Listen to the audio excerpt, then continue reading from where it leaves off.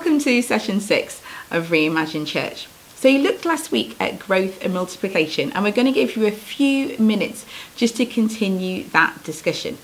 So, what are your thoughts on how you could grow and how you could multiply? Have you been able to identify potential leaders for maybe planting new missional communities or new pilots putting off?